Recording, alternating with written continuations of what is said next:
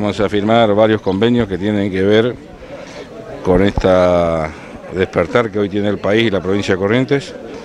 Habrá un convenio de canalización del Barranca por casi 90 millones de pesos, un poco más, que va a facilitar la recuperación de más de 200.000 hectáreas eh, productivas, que va a beneficiar a tres departamentos, Sauce, Curuzú, Esquina. Vamos a, firmar también este, el, el de la Ruta 30 y vamos a dar a conocer este, la inversión que vamos a llevar a cabo en muchos caminos rurales de la zona. Eh, va, a lograr... viene también mañana, ¿no? La entrega de vivienda mañana para 50 familias nuevas, más las que ya se licitaron. 50, faltan otras 50 que se están terminando, más las que se licitaron. Es decir que para el año que viene, esquina va a tener más o menos unas 200 viviendas en ejecución. De que venga el presidente de la sociedad rural, ¿cómo lo ve? Que visite la provincia bastante seguido. Es importante que un dirigente nacional conozca, recorra el interior y que esté en esquina.